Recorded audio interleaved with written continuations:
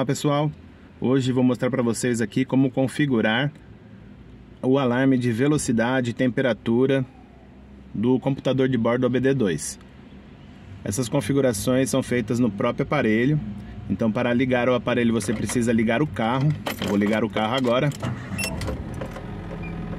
Estou fazendo esse vídeo porque recebi bastante comentários em outro vídeo meu que fala sobre esse computador e o pessoal tinha essa dúvida se havia esse, essa função de alarme nesse computador de bordo.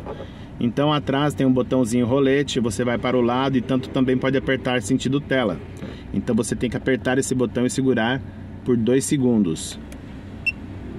Abrirá essa tela. Aí nesta tela aqui a gente vai selecionar settings, que seria configurações em português. A gente vai até aqui. Speed Alarm. Vou colocar, aqui já está configurado para 125 km por hora, mas vou colocar 120, vou colocar aqui 124, 124 km por hora. Depois tem alarme de temperatura. Está acionado a 96 graus Celsius. E aqui tem o alarme de contagiro do motor. Está a 4000 RPM. Vou colocar aqui um pouco menos. Vou colocar 3700, 3600 RPM.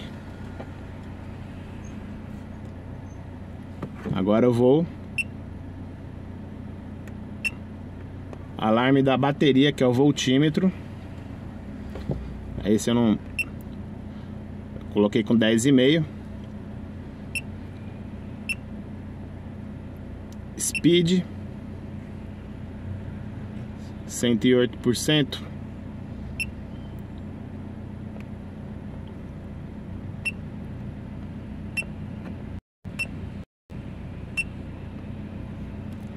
E aqui é o alarme de velocidade que está a 124 km por hora.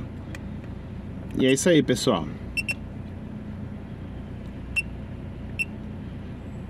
Configurou aqui os alarmes, só retornar, pressionando o botão sentido tela.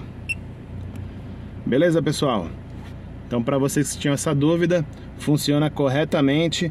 Vou fazer um vídeo para vocês também mostrando qual é o barulhinho que o computador faz quando atinge as configurações desejadas, beleza então, pessoal? pessoal? Agora vou mostrar para vocês aqui funcionando. Acredito que agora eu vou apenas conseguir mostrar o alarme sonoro da rotação do motor, porque ele não vai esquentar até 96 graus, porque esse carro aqui ele está com a mecânica preparada para ele chegar até 87 graus e cair até 80. Então ele mantém 80 graus direto. 80, 84, ele já cai para 80. Então eu vou conseguir só mostrar para vocês o alarme sonoro e coloquei aqui no tema para aparecer aqui a barrinha de contar giros do motor. Então quando chegar mais ou menos em 3.500 giros ele vai acionar o alarme.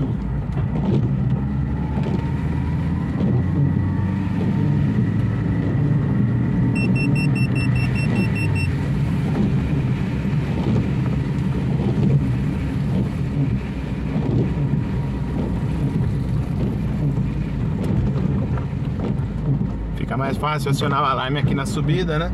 Então vou colocar uma primeirinha aqui para puxar novamente para vocês verem.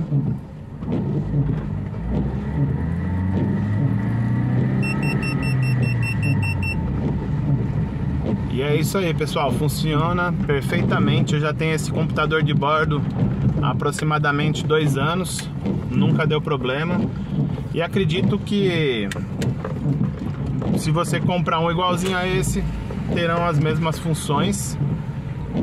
Super legal para você colocar no carro, para você ter a velocidade instantânea bem ali visível, evitando você de tomar multas e acompanhando o funcionamento do motor até do alternador de bateria, que vai carregar a bateria. Então é isso aí, pessoal.